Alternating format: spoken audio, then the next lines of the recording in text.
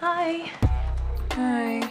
I thought I'd be married with kids by now, but that's just not happening. So, guess it's time for my backup plan.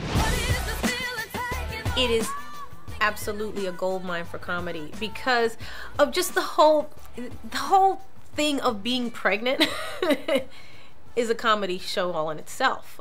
But um, to do it also on your own, it, you know, adds to the chaos. And I think chaos always lends to great comedy. Right now! Congratulations! How are we feeling? We're freaking out! What she said. I brought a lot of my personal experience to this movie. Obviously, I had just given birth not long before, so it was very fresh in my mind, the whole experience of being pregnant. And I was able to bring so much of what I had just gone through into all the little nuances of every scene. Uh, would you like a plate? The scene that I had the most fun with was watching the water birth. It was a room full of women. There was some great actors in the scene, and we just had the best time um, watching this girl give birth in the baby pool.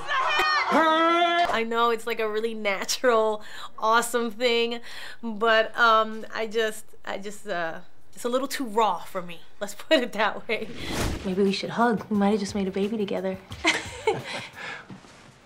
Good luck. okay. I really wanted to do a romantic comedy as my first as my first movie, you know, after taking the break to have the babies. And uh and this script in particular, like I said, had a very modern take on the romantic comedy. It had a great obstacle, which was a pregnancy, which you don't have very often. Really want to kiss you, but it smells like cheese in here. Usually in a romantic comedy, it's, you know, oh, I'm in love with my best friend and he's getting married, or He's gay. he's gay or my mother-in-law sucks this was a very real thing it's like how do you meet somebody and then find out that they are pregnant and do you really take that on There's something that I have to tell you. I have something I need to tell you too.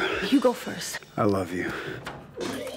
It's not the answer I was hoping for. Really, we worked really well together. Our chemistry is really good, and she's very smart. She's very, she's very savvy and, and, and intellectually her approach. Forget it, I'll get out. But not because you're right, but because I'm in a terrific mood and you're ruining it. There was never one moment where I was like, oh, here we go, you know.